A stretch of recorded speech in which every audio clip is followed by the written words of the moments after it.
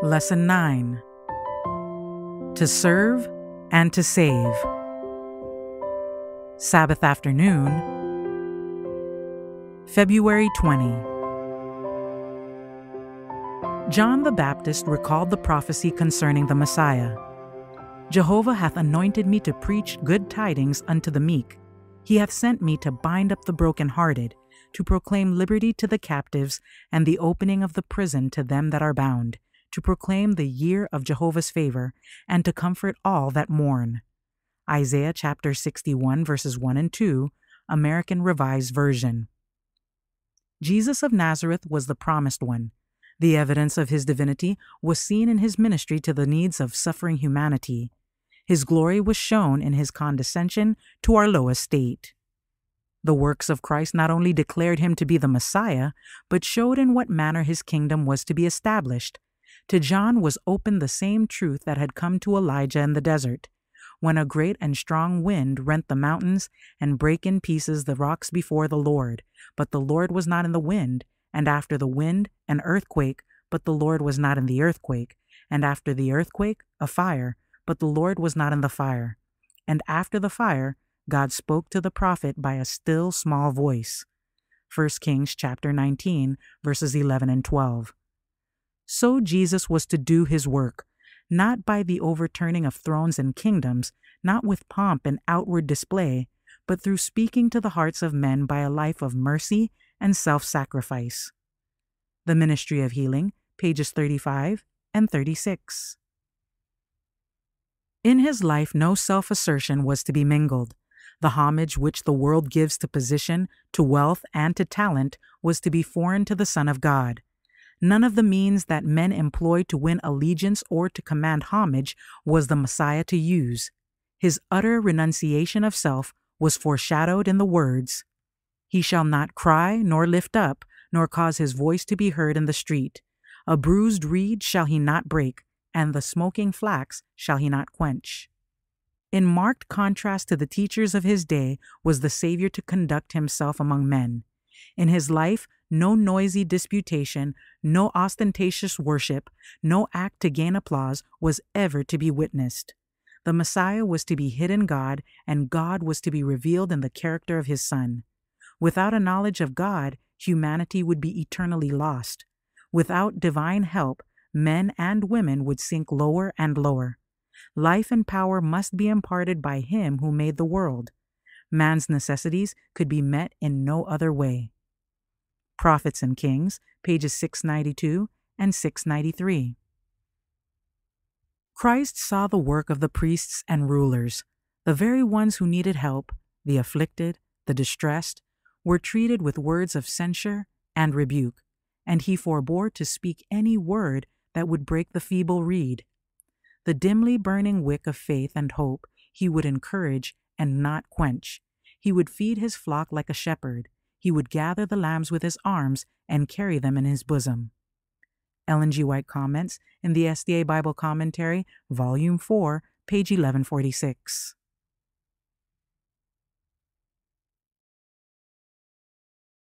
Sunday, February 21. Servant Nation. To the prophet Isaiah was given a revelation of the beneficent design of God in scattering impenitent Judah among the nations of earth. My people shall know my name, the Lord declared. They shall know in that day that I am he that doth speak. Isaiah chapter 52, verse 6. And not only were they themselves to learn the lesson of obedience and trust, in their places of exile, they were also to impart to others a knowledge of the living God. Many from among the sons of the strangers were to learn to love him as their Creator and their Redeemer. They were to begin the observance of his holy Sabbath day as a memorial of his creative power. And when he should make bare his holy arm in the eyes of all the nations to deliver his people from captivity, all the ends of the earth should see of the salvation of God verse 10. Many of these converts from heathenism would wish to unite themselves fully with the Israelites and accompany them on the return journey to Judea. None of these were to say, The Lord hath utterly separated me from his people. Isaiah chapter 56, verse 3. For the word of God through his prophet to those who should yield themselves to him and observe his law was that they should thenceforth be numbered among spiritual Israel, his church on earth. Prophets and Kings, pages 371 and 372. Christ has made every provision that his church shall be a transformed body, illumined with the light of the world, possessing the glory of Emmanuel. It is his purpose that every Christian shall be surrounded with a spiritual atmosphere of light and peace. He desires that we shall reveal his own joy in our lives. At his second coming, the redeemed from among men will receive their promised inheritance. Thus, God's purpose for Israel will meet with literal fulfillment. That which God purposes, man is powerless to disannul. Even amid the working of evil, God's purposes have been moving steadily forward to their accomplishment. It was thus with the house of Israel throughout the history of the divided monarchy. It is thus with spiritual Israel today. Prophets and Kings, page 720. Christ taught his disciples precious lessons in regard to the necessity of trusting in God. These lessons were designed to encourage the children of God through all ages, and they have come down to our time full of instruction and comfort. We cannot but look forward to new perplexities in the coming conflict, but we may look on what is past as well as on what is to come and say, Hitherto hath the Lord helped us. As thy days, so shall thy strength be. Deuteronomy chapter 33, verse 25 the trial will not exceed the strength that shall be given us to bear it. And by and by the gates of heaven will be thrown open to admit God's children, and from the lips of the King of glory the benediction will fall on their ears like richest music. Come, ye blessed of my Father, inherit the kingdom prepared for you from the foundation of the world. Matthew chapter 25 verse 34. Steps to Christ, pages 123, 125, and 126.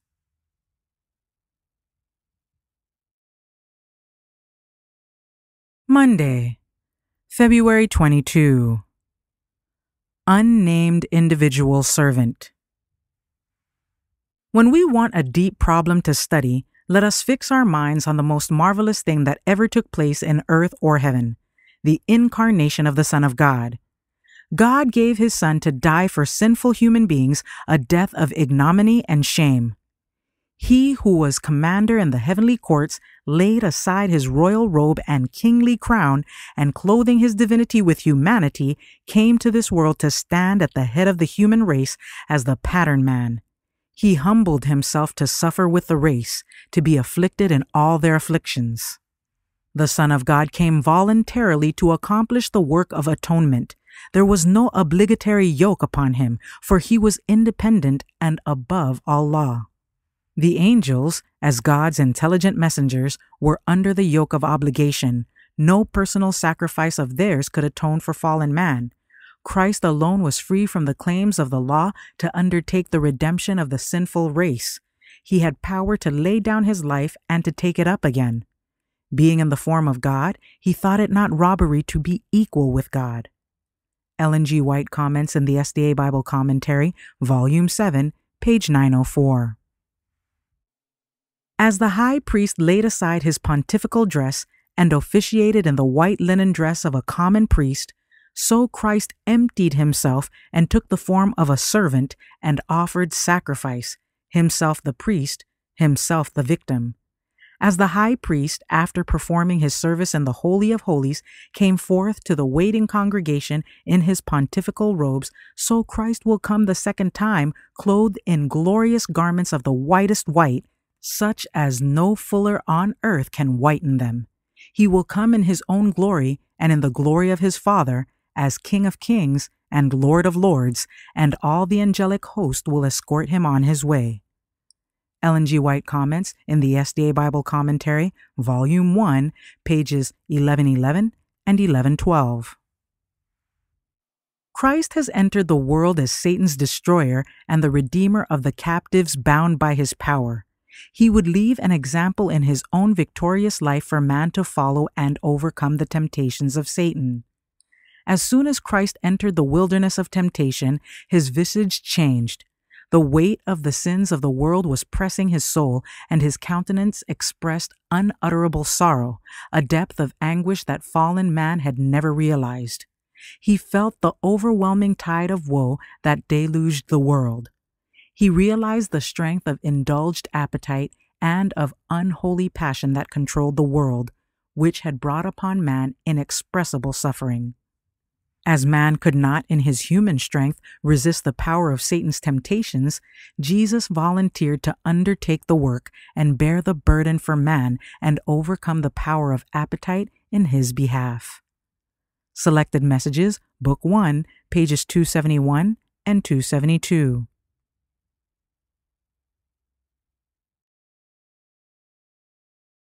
Tuesday, February 23. Persian Messiah.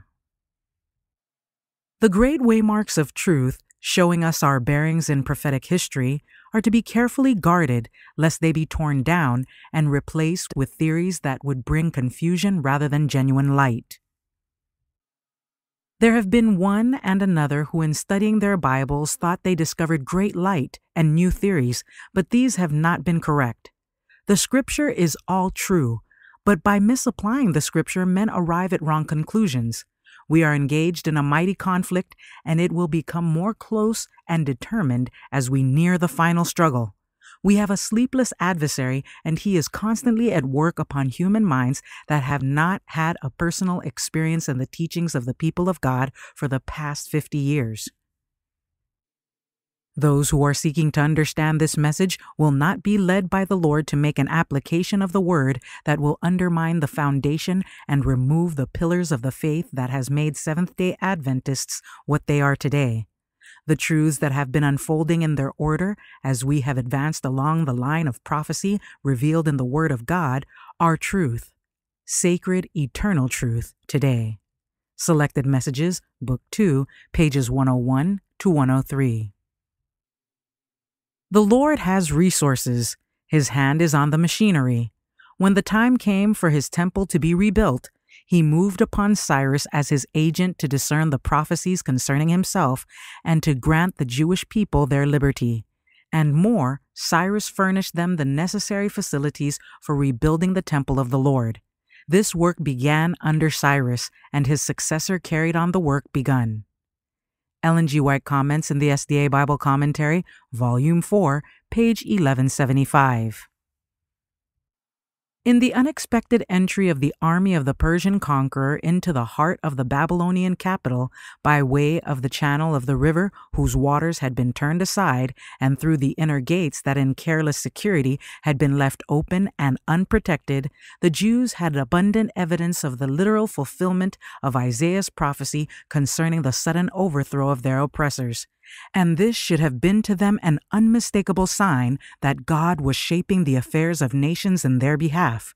For inseparably linked with the prophecy outlining the manner of Babylon's capture and fall were the words Cyrus, he is my shepherd, and shall perform all my pleasure. Even saying to Jerusalem, Thou shalt be built, and to the temple, Thy foundation shall be laid. I have raised him up in righteousness, and I will direct all his ways. He shall build my city, and he shall let go my captives, not for price nor reward, saith the Lord of hosts. Isaiah chapter 44, verse 28, and chapter 45, verse 13. Prophets and Kings, page 552.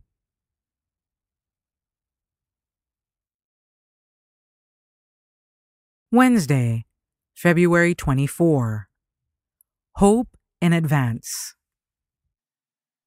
How shall a man be just with God?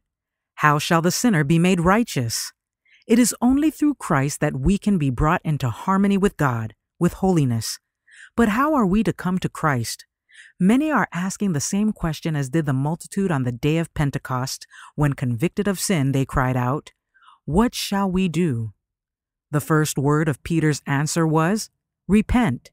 Acts chapter 2, verses 37 and 38. At another time, Shortly after, he said, Repent and be converted, that your sins may be blotted out. Acts chapter 3, verse 19. Repentance includes sorrow for sin and a turning away from it. We shall not renounce sin unless we see its sinfulness. Until we turn away from it in heart, there will be no real change in the life. Steps to Christ, page 23. The true penitent does not put his past sins from his remembrance. He does not, as soon as he has obtained peace, grow unconcerned in regard to the mistakes he has made. He thinks of those who have been led into evil by his course and tries in every possible way to lead them back into the true path. The clearer the light that he has entered into, the stronger is his desire to set the feet of others in the right way. He does not gloss over his wayward course, making his wrong a light thing, but lifts the danger signal that others may take warning. We should learn that in watchfulness and prayer is the only safety for both young and old. Security does not lie in exalted position and great privileges. One may for many years have enjoyed a genuine Christian experience, but he is still exposed to Satan's attacks. In the battle with inward sin and outward temptation, even the wise and powerful Solomon was vanquished. His failure teaches us that whatever a man's intellectual qualities may be, and however faithfully he may have served God in the past, he can never with safety trust in his own wisdom and integrity. Prophets and Kings, pages 78 and 82. I testify to my brethren and sisters that the Church of Christ, enfeebled and defective as it may be, is the only object on earth on which he bestows his supreme regard. While he extends to all the world his invitation to come to him and be saved, he commissions his angels to render divine help to every soul that cometh to him in repentance and contrition, and he comes personally by his Holy Spirit into the midst of his church. Let this be our language from hearts that respond to the great goodness and love of God to us as a people and to us individually. Let Israel hope in the Lord from henceforth and forever. Consider, my brethren and sisters, that the Lord has a people, a chosen people, his church, to be his own, his own fortress, which he holds in a sin stricken, revolted world. And he intended that no authority should be known in it, no laws be acknowledged by it, but his own. Testimonies to Ministers and Gospel Workers, pages 15 and 16.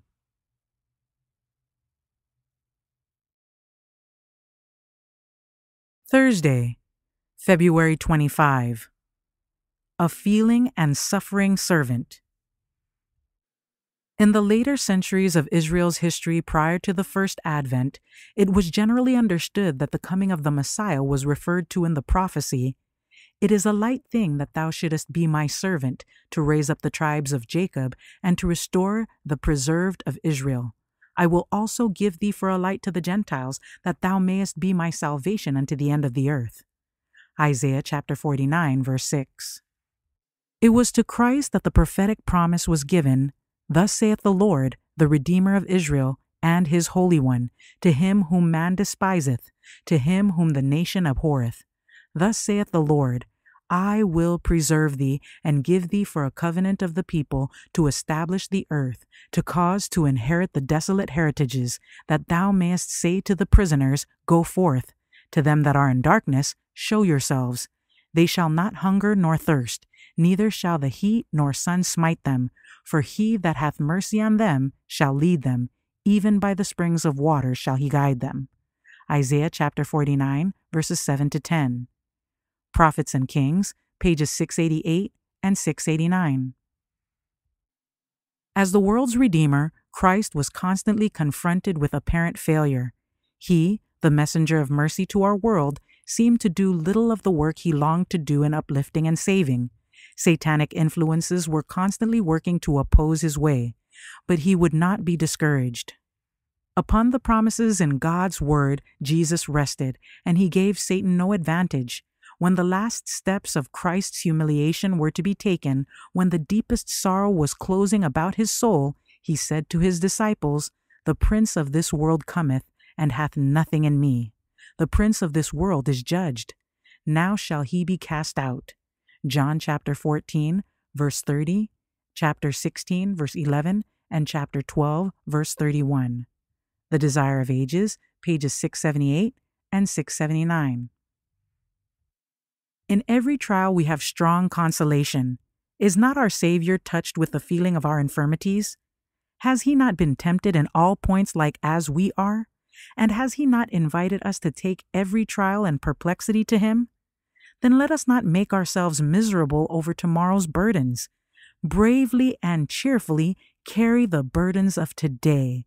Today's trust and faith we must have, but we are not asked to live more than a day at a time. He who gives strength for today will give strength for tomorrow. Nothing wounds the soul like the sharp darts of unbelief. When trial comes, as it will, do not worry or complain. Silence in the soul makes more distinct the voice of God. Then are they glad because they be quiet. Psalm 107, verse 30. Remember that underneath you are the everlasting arms.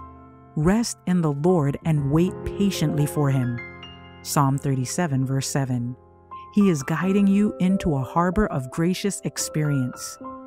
In Heavenly Places, page 269.